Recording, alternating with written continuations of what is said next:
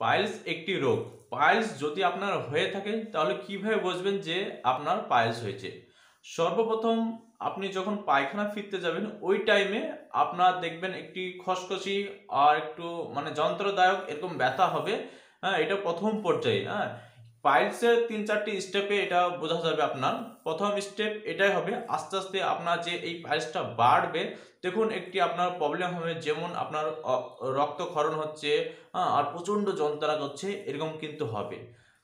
তৃতীয় পর্যায়ে হচ্ছে, ওখানে একটি পাকস্থলিতে আপনার একটি মাংস জমে যায়।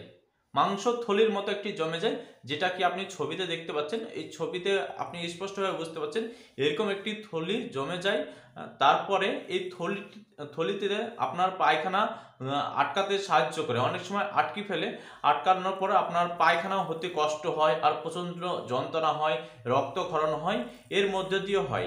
এই যে আপনার যে মাংস জমেছে এখানে, এটার মধ্যেই আপনার যতটা প্রবলেম হয়। এই রোগটি আমার হয়েছিল, আমি এই প্রবলেমে ভুগেছি, এই কারণে আমি এই সব বিষয় নিয়ে বলতে পারছি। এগুলা আমার নিজের হয়েছিল। আমরা আমি অনেক চেষ্টা করে এটা ভালো করেছি। তো আপনারা যে টিপসগুলো দিচ্ছি, এগুলো আপনি ফলো করতে পারলে আপনারা ভালো হয়ে যেতে পারে। ওকে চার নম্বর হচ্ছে, আপনি যখন পায়খানা করবেন, ওই টাইমে ওই যে মাংস থলি দুটো দেখতে পাচ্ছেন, সেটা অনেক সময় বেরিয়ে চলে আসে। আপনার উপরে যখন পায়খানা প্রেশার পরে ওই মাংস থলিটি অনেক সময় বাইরে বেরিয়ে আসে, আবার পুনরায় চলে যায়। অনেক সময় কি হয়, এটা বাইরে থেকেই যায় আর যায় না। অনেক সময় আঙুল দিয়ে ওটা ওপরে আবার ঢুকিয়ে দিতে হয়। এরকমও অনেক সময় হয়, অনেকের হয়েছেও।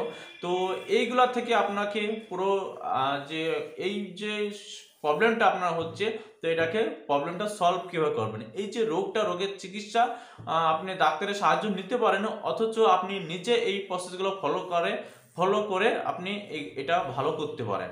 এই রোগটি যাদের হয়েছে, তারাই বুঝতে পারে যে এই রোগটি কতটা ভয়াবহ আর কতটা যে যন্ত্রদায়ক, আপনি বুঝতে পারবেন যদি আপনার হয়ে থাকে। তো এই রোগ থেকে আপনি মুক্তি পাওয়ার জন্য কিছু কিছু কাজ করতে পারেন, তাহলে এই কাজগুলি এই কাজগুলো যদি করেন, তাহলে এই যে প্রবলেমটা আমার আপনার সলভ হবে।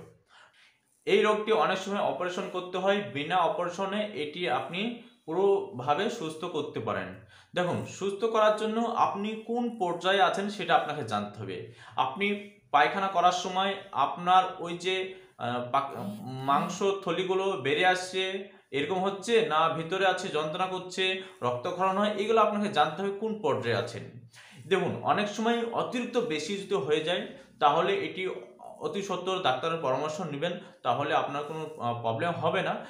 আর এগুলা অনেক সময় অপারেশন করতে হয় অপারেশনের আগে কিছু করতে পারেন এবং যথাযথ সময়ে এটা যদি আপনি না সুস্থ করেন, না ভালো করেন বা না ডাক্তারকে দেখান, তাহলে আপনার এটা ইনফেকশন হয়ে, আরও অন্যান্য রোগ হতে পারে।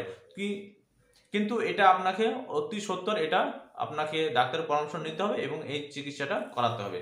তো দেখুন, চিকিৎসা না করে আপনি নিজে কিছু যে অভ্যাস তৈরি করলে এই প্রবলেমটি আর হবে না। সেটা হচ্ছে নাম্বার ওয়ান হচ্ছে আপনার আপনার যে পায়খানা হচ্ছে কষা পায়খানা। এই কষা পায়খানা যেন না হয়।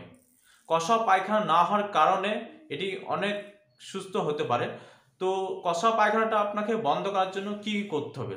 দেখুন, আপনাকে এখানে খাবার দাবার সব থেকেই ভালো খাওয়া দাওয়ার খেতে হবে, আপনি যদি অপারেশন না করে এইটি ভালো করতে চান, তাহলে আপনাকে কিছু করণীয় আছে, সেগুলো আপনাকে করতে হবে। নাম্বার ওয়ান হচ্ছে, এই যে কষা পায়খানাটা হচ্ছে হ্যাঁ মেন হচ্ছে কষা পায়খানা, এইটার কারণে আপনার এই রোগটি আরও বাড়ছে হ্যাঁ তো এটাকে আপনাকে সব থেকে নর্মাল করতে হবে।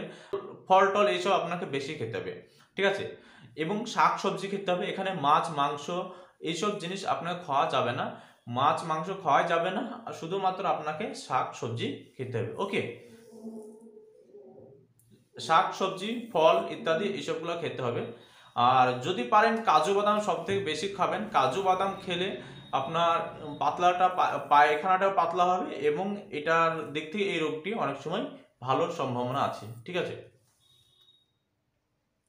আর এখানে সব থেকেই কাজুর পরিমাণটা আপনি বেশি খাবেন। কাজু, খেজুর ফল, আপেল, বেদানা, কলা, এসবগুলো বেশি খাবেন, কলাটা আরও বেশি খাবেন হ্যাঁ। আর শাক সবজি অবশ্যই আপনার খেতে হবে। মাছ, মাংস এখানে খাওয়া চলবে না, মাছ, মাংস খাবেন না, ওতে কষা পায়খানাটা আরও একটু বেশি হয়। এইগুলি আপনি অভ্যাস করুন, এইগুলা এইগুলো আপনি অভ্যাস করুন, প্রায় ছ মাস খান, ছ মাস খেলে আপনার যে এই রোগটি পুরো সম্পূর্ণভাবে ক্লিয়ার হয়ে যাবে। যেভাবে আপনার পায়খানা করার সময় ব্যথা হতো, যন্ত্রণা হতো, এই সবগুলো আর হবে না। আর যে পাকিস্তলিতে সরি আপনার যে পাকিস্তলিতে ব্লাড আপনার পাকিস্তলিতে মাংস থলি যে জমেছিল সেটাও আপনার আস্তে কেটে যাবে, বন্ধ হয়ে যাবে আর হবে না। এই প্রসেসগুলো ফলো করলে। কিন্তু আমার আমারও এখানে হয়েছিল, আমি এই প্রসেস ফলো করে হয়েছে। আমি কোনো রকম অপারেশন করতে হয়নি, আল্লাহর হুকুমে। এখানে কোনো রকম অপারেশন করতে হয়নি। এই প্রসেসগুলো আপনি ফলো করতে পারেন। আমার সম্পূর্ণভাবে এখন সুস্থ, আল্লাহর হুকুমে। এই রোগটি আপনার যদি হয়ে থাকে, তাহলে অবশ্যই ডাক্তারের পরামর্শ নেবেন। তো আপনার যত তাড়াতাড়ি সম্ভব এটি সম্পূর্ণ সুস্থ হয়ে যাবে।